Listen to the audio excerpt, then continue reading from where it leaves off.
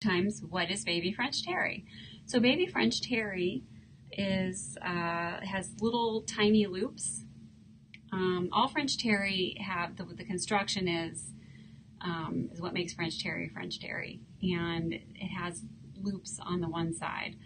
Um, so baby French terry has small loops, while regular French terry has larger loops, and then there's also big loop French terry that has even bigger loops.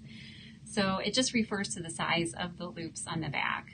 And um, you can see in the picture how small and fine those loops are, and this one is the same. It's just tiny little baby loops, which tends to um, make it a, a softer fabric.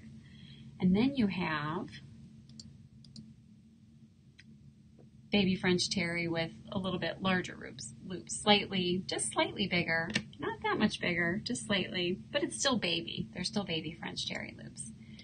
And then you have large loops. Um, this is a French terry that we have, and I did not, I forgot to grab a piece of this to show, but this one has um, cotton in it and it has bigger loops.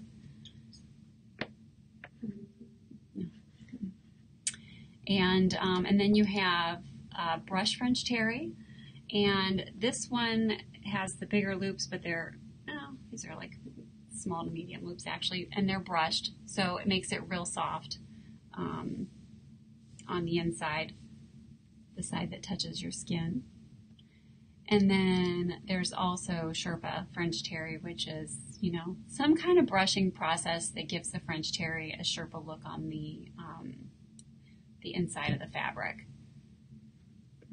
Betsy Gillingham wants to know what type of garments would you make with baby French terry and regular French terry? What type of garments would you make with baby French terry and regular French terry? Um, baby French terry, since the loops are finer, tends to be um, maybe a, a, lighter fabric compared to the fabrics that have large loops on them. They're they're great for a number of things. You could make tops. I've seen people make dresses out of them, shorts, um, joggers. They just tend to be a lighter fabric um, than the French terry with the really big loops. And um, the really big loop French terry is more has a little bit more, I would say, structure to it. So you'd want to make use that for garments with a little bit more structure. You could use that for sweatshirts, sweatpants. Um, you probably wouldn't get the drape that you want in a dress or a skirt um, or really the look that you want with a large loop French terry. Somebody wants to see the drape of the baby French terry. The drape of, okay, someone wants to see the drape of the baby French terry. Now this one has a lot of rayon in it. Rayon makes um, your clothes softer and has really nice drape. So this is, here's your drape. And French terries tend to be a two-way stretch. They have uh, they have four-way stretch. It, there's a little bit there's a little bit of stretch there, but your bulk of your stretch is two-way.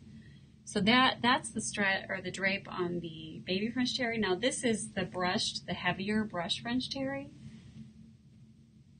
and you can see how the drape, how much more structure it has than the baby.